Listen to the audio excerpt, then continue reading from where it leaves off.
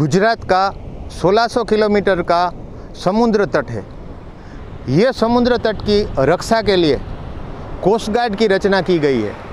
और ये coast guard के जवान और कोस्ट गार्ड की पूरी टीम, ये जो गुजरात का 1600 किलोमीटर का समुद्र तट है, उसकी अच्छी तरह से रक्षा और सुरक्षा कर रहे हैं। ओखा में ये कोस्ट गार्ड का मुख्यालय है, उसके अलावा जखौ है, गांधीनगर है, और ये जो देशद्रोही प्रवृत्तियाँ होती है यहाँ जो नापाक हरकतें होती है, वो हरकतों को दूर करने के लिए ये जो समुद्र तट है और समुद्र के अंदर ये सीप से हेलीकॉप्टर से और होवरक्राफ्ट से ये अच्छी तरह से छानबीन करके 24 घंटे इस पर निगरानी रखते हैं।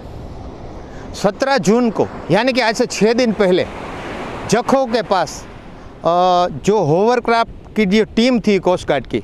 वो सर्चिंग कर रही थी, उस दौरान समुद्र तट पे चार पैकेट नशीले पदार्थों का मिला। उसके बाद 21 जून को, जब उसके पास जो समुद्र तट है, वहाँ निगरानी करने के, बावज निगरानी करने के अंदर जो 34 पैकेट ये नशीले पदार्थों का मिला है। और 22 जून को, ये इसके समीप ही, जखौ के समीप समुद्र तट से 50 पैकेट नशीले पदार्थों का मिला। यानी कि कुल मिलाकर 88 पैकेट नशीले पदार्थों का मिला और छानबीन के दौरान पता चला कि ये चरस है। और ये चरस की बाज़ार में एक करोड़ बत्तीस लाख रुपया कीमत होती है। कोस्ट गार्ड की जो महिला कमांडिंग के होवरक्राफ्ट है उस होवरक्राफ्ट ने ये पूरा जो मामला है ये जो पूरा चरस को पकड़ने का जो पूरी का, कार्यवाही है ये होवरक्राफ्ट की टीम ने की है। ओखा मुख्यालय की ओखा मुख्यालय है कोस्ट गार्ड का। उसके जो भी अफसर हैं और जखों के जो अफसर हैं उसकी निगरानी में ये पूरा ऑपरेशन हुआ है। और इस ऑपरेशन के दौरान जो 88 पैकेट चरस के पकड़े गए हैं, उसको मरीन पुलिस को सौंप दिया गया है।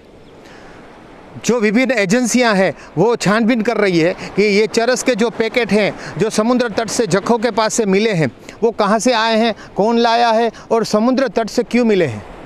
ये जो पाकिस्तान की ओर से चरस का जो धंधा कर रहे हैं इलीगली और उसके अलावा भी भारत के कोई लोग इसमें इन्वॉल्व है कि नहीं? ये सब छानबियाँ छानबीन एजेंसियाँ कर रही है। द्वारका टुडे के माध्यम से मैं बुधाबा भाटी, कैमरा पर्सन हितेश दासानी के साथ ओखा।